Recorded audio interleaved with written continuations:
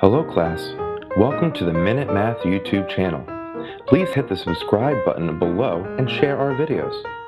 You can also find great math content and links to all of our videos at www.minutemathtutor.com. Alright now, enjoy the lesson.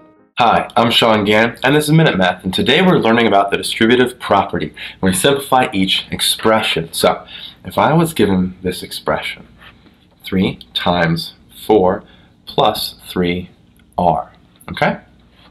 First step, inside my parenthesis, can I simplify? No. Now, distribute the 3 across to both parts. 3 times 4 is 12, and 3 times 3r is a 9r. And now we're done. We can't combine anything, so my final answer here is just 12 plus 9r. Quick recap, we're given 3 times 4 plus 3r, and we have to simplify that. Well, dist distributed, uh, dist yeah, multiplied, all right?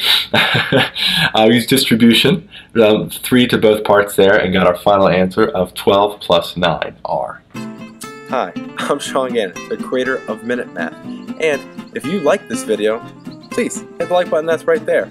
If you have a mathematical question, just add it to the comment section below. And lastly, if you want to see more videos just like this one, hit subscribe. It's right there. But as always, thanks for watching.